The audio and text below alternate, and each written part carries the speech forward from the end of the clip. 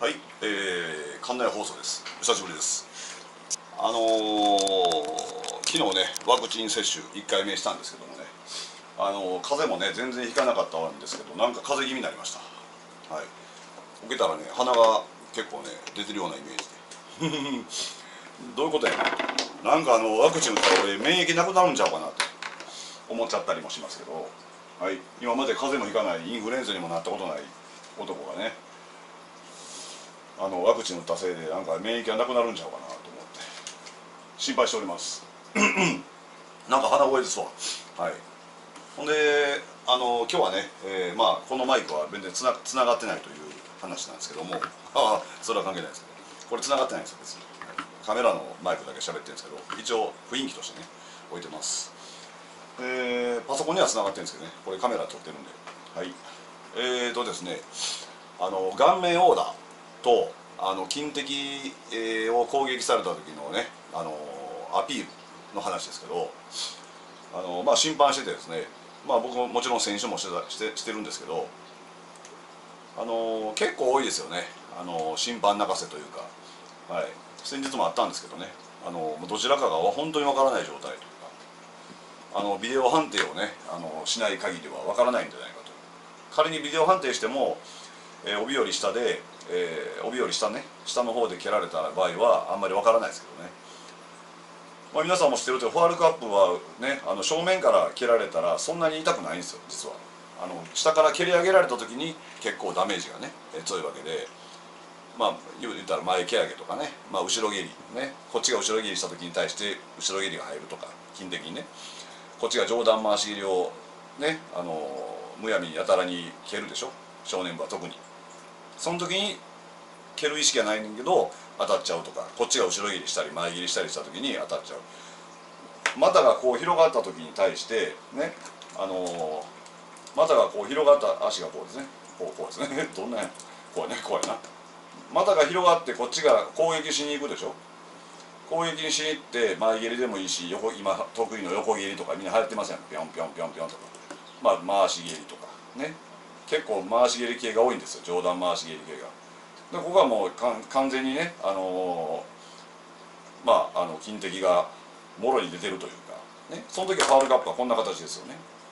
その時に対して後ろ蹴りがガン当たったり前蹴りが当たったりこれ蹴る意識がないねんけども当たった当たる時は痛いです。確かに、はい、でもあの蹴った方もあの故意にやることはほとんどないと思います、はいまあ、それは、別としてあの、まあ、普通に前蹴りが当たったねあの特に少年部ちっちゃい子とかあの結構当たったらアピールしますね。痛くないないと思うんですよ。あのすぐにあの復活するんでね。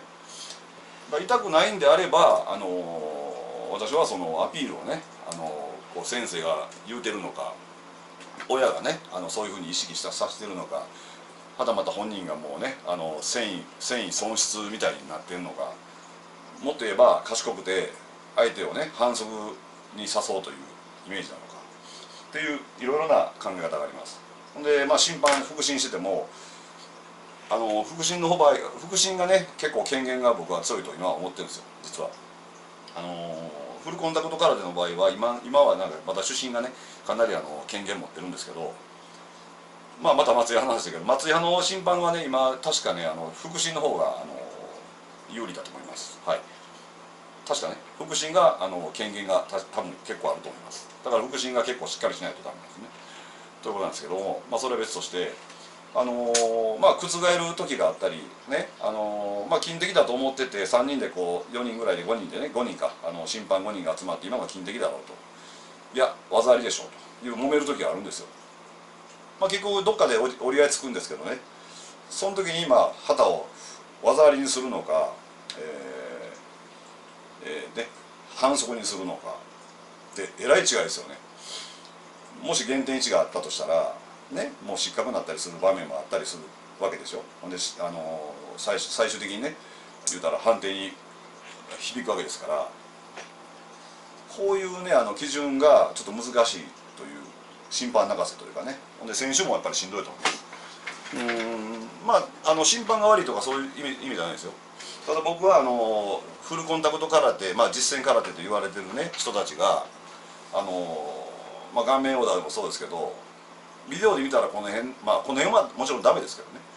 まあこの辺なのにグッとねあのここアピールしたりね。もっともっと言えば壮年部壮年部壮年の話。こいつジャイアンみたいなおっさんがねこう100キロぐらいあるおっさんがこうかっこよく出てきません「おっすおっす」とか言って。こんな抵抗ないし「おっす」となんかすごいかっこよくでもなんかちょん立てられてってやってるシーンないですから。ねあれね僕ちょっと困るんですよね。見てて。別に私に害ないですけどすげえかっこよくこうセコンドもいっぱい連れてるねジャイアンみたいに入ってきて「ああ100キロ級の重量級でね。その代わりちょんと当たった瞬間にあちょっと止まる。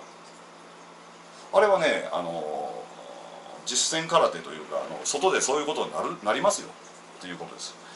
もしねまあ喧嘩なんかしたらあかんけどもまあ喧嘩になる場合もあったり人助けしたりする時もあるわけじゃないですか。ね。その時にまあ殴られますよ絶対に、はい、我々実践って言っても顔面に慣れてないんでねバーンとこうどつかれた時は多分避けれないですよね、はい、でも当たっちゃうんですよパチンと。ここら辺は強いですよ我々ね。結構下段回し蹴りもこの辺ボディも結構普通の素人にどつかれても平気ですよ。ね。殴られ屋でもねあのやってる通り全然痛くないですよ、はい、でグローブなんかつけさせたら全く痛くない。まあ素手でどつかれてもそう痛くないです鍛えてますから。でもここなんか鍛えたことないから。避け方も知らんし当てられたら結構ひるみますよ。喧嘩になった時。実際喧嘩したら分かりますわ、はい、結構バンとつかれたらびびっくりしますからね、はい。まあ、そこでひるんじゃったりっていう癖にやっちゃうと思いますよね。あのーだからなんちゅうんかな顔面王座をその言うたらねほっといてもそのまま行くと。もうどっちかというと殴ったら殴り返すんじゃないけどそれぐらいの気持ちでね、あのーやった方が僕はいいと思うまあもちろん武道として殴られたから次ね構えて始めてまた殴るのはあかんけどねそれぐらいの意識で子供たちもやらんとねあのーもう全てがこう反則を取る、って言ってあの時間を止める、ね、って言って、まあ、情けない姿を見せる。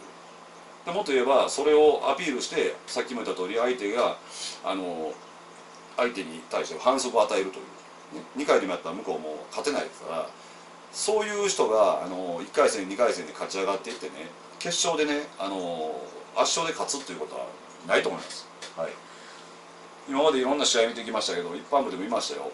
もう何回も顔殴られるようなやつが。はいやね。で殴られるようじゃなくて当たったらすぐにダウンするんですよ。もう完全にもう下向いてね。うん。それをね何人か今何回か見たことありますわ。はい今までね。もちろん空手歴も長いんでいろんな試合見てきてますから試合もほとんど参加してますんでね。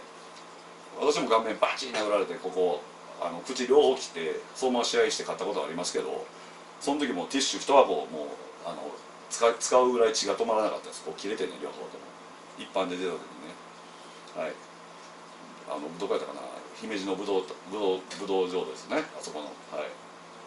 姫路カップかなんかのですね。バコン。思いっきりですよ完全に。で僕も身長低いんでねあの結構当たられやすいというか。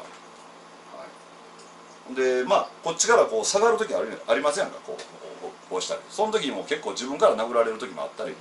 だからこれはねあの故意に殴ってくるからもう完全にもう完全にアンパンチみたいなもんで頭殴ってくるとかないからね。だから相手に対してそんなに僕はあの恨みはないんですけどもただ僕も当てちゃう時あるんですよ。結構背が低いんで相手高いんで体がね結構こうやって当たっちゃうんですよ。その時になんかあのすごいアピールされたりする時あるんだけども喧嘩になったらどうすんねんという話もあって。はい。まあ金的ですけどね話話戻りますけど、まあ、審判泣かせって言うんですけどもあのーまあそういうことをねあの各先生とか、えー各親御さんがねそれをもしやってるんであればあのそういうふうにねさしてるんであればあのやめた方がいいです。はい。あの中学校になってね高校になってねどんどんどんどんそうやって自分をごまかしながらね生きていくまあ大げさやけどねあの生きていくんじゃないけどね人のせいにすることになってしまうんですよ。はい。だから僕はあの集団集団なんなんちゅうのあのえーみんなでやるスポーツあるでしょ。団体競技。っていうのはあんまり好きじゃないです。僕もサッカーずっとやってましたけどちっちゃい時からね。はい。でもやっぱりなんか誰かのせいになるでしょ？あの キーパーとか PK とか。ななんかなんかすっきりしませんやんか。で空手の場合はなんかあの全部自分ですから1対1でやってますんでそこにね誰かのこう知恵が入る。ね。あの蹴られたらアピールせよとか。ね。ちゃんとアピールせえやとか。ってなってきたらもうそれ空手というか個人競技じゃなくなってくると思いませんか？って僕は思うんですよ。はい。うん。ね。あのまあラジオみたいに勝手に喋ってますけどうん。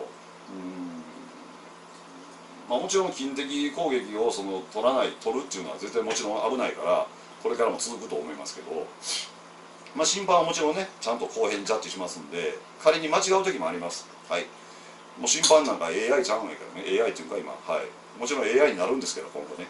それはそうですけど、はい、福祉みんな AI AI っていうかな、まあ、ちょっと間違えたらすみません。機械ね。機械。コンピューター。に全員同じ働くね。福祉審判だけ人間でこうああね。全員があの分かれるという。出身以外全部 AI から向こうでそういうふうにねあのやっていったら僕はいいと思います。はい。あの そういうふうにそうですけどあのねそういうの直ちにやめた方がいいと思いますね。はい。ということでねそういう金敵っていうのは下から蹴り上げられたりしたらもう結構痛いしそれはねあの10分後とか15分後とかね3試合後とかになってるでしょ。でもちょっとしたらもう審判がポンポンとお尻叩いたったりね持ち上げたりしたら治るってぐらいのやつは、うん、そうでもないんですよ。うん。はい。止まる必要もないしね。あともう一個追加の話ですけど胴回し回転蹴りをこっちがするでしょ。僕も結構この前載せてましたけどあれって当たるとかっこいいけど、ね、当たると有利で技ありですけど当たらんかったら試合を放棄してます。はっきり言って。こっちが試合の流れを止めるという。まあ要要は考え簡単に言うたらね、えー、聖堂会館の中田はじめの先生のねあのギャグじゃないけどあこけるかと思った。っていう話。勝手にこけてるんですから。ね。危なーこけるかと思った。みたいな話になるでしょ。だから構えて初めて戦ってるのいきなり。まあ前にね相手に対して相手に対してボーンってやるからまあかっこいいけどもこれね僕にしたらこれね結局こうやってまあ組み手してますやんか。こっちに胴回ししてんのと一緒です僕にしたら。当たらんかったら、えー、こっちに戦わなあかんのにこっちにバーン胴回して当たったらいいけどもバンバンバンバンこっちにしてんのと一緒なんですよ。ここでかすかに当たらんかったら。何してんねんってねこの人にしたら何勝手にくるくる回って倒れてんねやって言って。ほんでパッと見たらねこけてこけてるという。ほんで審判があってこっちに集めてきて「はい認めません」はいポン。ね。まあ今のルールではどうか知らんけど、ね、我々がおった極真会館の方は技のかけ逃げって言って3回かけやこれで失敗したらこっちが技あのこっちが技になるんです、はい、こっち反則なんです。技のかけ逃げ、まあ、飛び上段回し蹴りだったり胴回し回転蹴りだったりね同じことをやるでしょ。ほんならこれ技ありなんですよ。こっちがね。でそういうぐらいそれぐらい迷惑な話なんです実は。こけるということがね。まして空手のルールでこけるっていうのは足掛け下段突きとか極真空手ではしますけどまあ手かけんでも足だけブンってひっくり返したらこういうこれ技ありなんですよねは。い。今は技あり取ってないところが多いんですけどうちの大会では技ありもちろん取ります、まあ、空手でこけるっていうのはもうもうもう言うたらもうダメです。不利ですから。そういうこともあります、ということで相手に考え相手のことを考えるとむやみやたらにこけるっていうのはこっちが試合ができない状態なんですよ。はい、っていうことも踏まえていろいろ話を今日はしてしてるんですけどね。はいまあ、あの全然オチがない話なんですけど結局そのアピールをそのしすぎるっていうのはあの空手家として武道家として実践空手としてあんまりあのあの見ててね気持ちのいい話じゃないという試合見ててもどつかれてもなんかそのまま行く人おりますやんかあの人かっこいいなって思いません？みんな。さっきみたいにジャイアンみたいな人がもうすげえよ。もう完全にもうもうなんもうバーベル何キロ上げんねん言わず考えないしもどこ行っても痛くなるような体でドゥー入ってきて「うっすあれはねあの嫁はん見てるよと思いますね。あのかっこ悪いですね。あのそういうことになりますからあのまあそれ誰誰かとは言うんじゃないけどねそういう人見ません？結構。期待外れの人ね。はい。でそういうことにななったらダメなんで僕ももちろんほんまにどつかれたらこうなりますけど。あのちょちょっとですよ僕言うてんの。ちょちょっとですよ。ちょっとですよ。もうほんまのちょっと触れただけでこうやってる人いません、うん、あれがまあ子供たちにも影響しているということです。はい。特に一般上級の人らはねあの、見た感じ当たってないけども結構かすったらもちろん素手やからねあれの人らはとまた別なんですよ。素手でどつかれる時はさっきも言ったように口こんな切れましたからね両方縦に。はい。帰り俺あのみんなであの入賞祝いしたんで喫茶店入ったんですけどストローでこっから飲んでましたはい口心地切れてるんで両方。はい。こっからストローで飲んでもの飲むなよって感じだったけど。ねはい。まあそういうなんでね結構素手の話はまた別としてね。もうほんまに少しでも当たったらやっぱりゴーンきますからね。でもスポンジつけてねお互いがスポンジつけたもん同士特にヘッドガード網付き 網付きつけてね極真の松井派じゃないけどね壮年じゃないけどあれでボーンってぶつかって、ね、今今つけるんなったらしいんですよ。網網のやつ確かに。ちょっと間違ってたらごめんなさいね。あのまあセミコンタクトルールは僕らつけてました。それでもやっぱり当たったらアピールしてましたからね。何やってんのって寸止めやけど当たったら何なのっていう話です。反則やけどもうその痛ないでしょうと、ね、いうことです。だかそういうこと見ると総合総合格闘技の人らが見たらしょぼいんかなって思われるんですよね。で試合になって今度は総合格闘技の試合出たらどつかれても平気なわけでしょ、うん、もっと言えば顔を切られてもガーンとあの顔顔面ブロックっていう人もいません。顔面ブロックっていう人ね。はい。顔面ブロックする人いますよ、はい、そういう人なんかいたらね切られても平気なのにとつかれたらこんなアピールするってちょっとようわからないですね。空手は顔は蹴られます。ね。バーン蹴られます。上段回し蹴られます。そこで倒れないのに倒れないのにあのー、分かりってなるでしょ？少年部が。その時は別に何ともないじゃないですか。次勝とう思ってできない。でも顔叩かれた時はアピールして何か中断するっていうのはどうかなっていう話を今日はしててそういうのを皆さんねあのちょっと気をつけ気をつけた方がいいんじゃないかと。いうことです。はい。皆さん思いませんか？っていう話です。何のオチもないですよ。勝手に喋ってる館内放送です、はい。まあ、金的に関してもねあの審判がねかなりきついんで、はい、厳しいんでねそういうとこはあのやっぱり選手とはね正々堂々と戦うことを誓いますというふうにねやっぱ最初に言うんですからあのそこはねあの嘘嘘嘘嘘嘘じゃないですよ。嘘かもしれない。まあまあまあ言い方難しいですね嘘をつくなっていうことですはい見てて分かるからねやっぱり。俺らもそこまでいたないでしょとか、まあ、当たってないやろとかいうのもあるんで、まあ、実際ほんまに当たってる時はあったりしたらそれも審判がさっき間違うという話なんで、まあ、それは申し訳ないんですけど結構だからアピールを多いなという話でした。はい。まあ、これは実践空手やってるもんはあのちょっとね控えましょうという話。子供の時からそれを意識してやらんと結局勝ち上がれないです。相手に反則反則を与えるようなイメージを持った人間があのもし勝ったとしても勝ち上がってる姿を見ていったらそのそういうことで勝ち上がってる人はあんまり褒められないですよね。うん。思いませんか？まあ、自分の息子とかね娘さんを出してて決勝まで行ったと優勝したと。その途中が結構アピールで勝ち上がってきたと。相手に反則を与えて勝ち上がってきたっていうのを最後に優勝した時になんか褒められませんやんか、うん。まあ、それで褒めるって言ったらもうちょっとおかしいけどね。子供たちの親御さんもね子供のうちからあの正々堂々と戦うようにねあのした方がいいと思います。で今度俺試合出たらまあこんなんしたらこうやっと ジャイアンみたいに俺が入っていって。どう すかすいませんでした。はいそういうことです、えー、このマイクはつながってないという話でした。ありがとうございました。うっす今日は昼間なんで頭光っちゃってないと TV でした。さよなら。